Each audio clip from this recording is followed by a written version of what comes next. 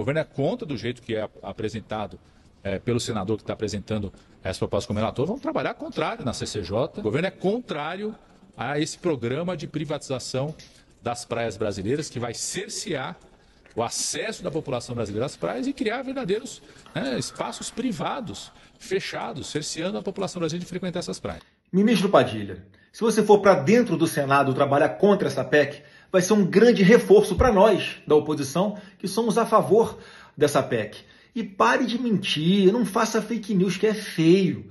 Essa PEC não trata de praia, não tem nada a ver com praia. A PEC trata daqueles imóveis já ocupados. Você conhece alguém que ocupou a praia? Não, eu também não. Tem as pessoas que moram perto da praia. É desses imóveis já ocupados que nós estamos tratando na PEC. Agora, o que é verdade? Nós vamos sim acabar com três impostos: o foro, o laudêmio e a taxa de ocupação. Você acha justo todo o ano alguém que tem, ah, que mora no imóvel desse, pagar um aluguel para o governo federal? Sim, esse é o foro. Paga-se um aluguel de 0,6% do valor do imóvel para o governo federal. Para quê? Se esses imóveis já pagam IPTU todo ano.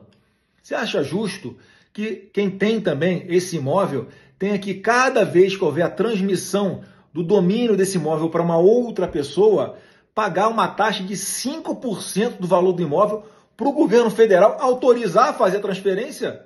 Para que pagar esse laudêmio se esse tipo de operação já incide o ITBI, que é o Imposto de Transmissão de Bem Imóvel? É disso que se trata essa PEC. Nós queremos reduzir sim a carga tributária, dar segurança jurídica para essas pessoas que já ocupam esses imóveis, que vai ser de forma gratuita ou de forma onerosa. Vai ser gratuita sempre que essa habitação for de interesse social como algumas favelas que são ali na orla, como o Complexo da Maré no Rio de Janeiro. Sim, 8.300 imóveis estão nessa situação em terreno de marinha, que são propriedade da União e que a gente quer passar o título de propriedade definitivo para essas pessoas. Todos os demais casos são onerosos, as pessoas vão ter que pagar por isso. Então, olha só, essas pessoas que são mais humildes vão poder ter o título de propriedade definitiva da sua casa, vão poder deixar de herança para os seus filhos, vão poder receber encomendas em suas casas, porque vão passar a ter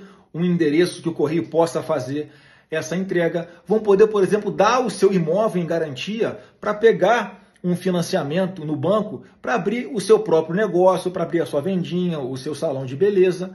Então não tem por que ser contra essa PEC se ela traz sim a, a segurança jurídica e com isso também traz grandes investimentos estrangeiros e também de dentro do Brasil para que grandes empreendimentos sejam realizados em toda a orla do Brasil, gerando sim muito emprego, muita renda e fazendo com que o Brasil viva de fato do seu grande potencial, que é o turismo com suas belezas naturais e o seu povo maravilhoso.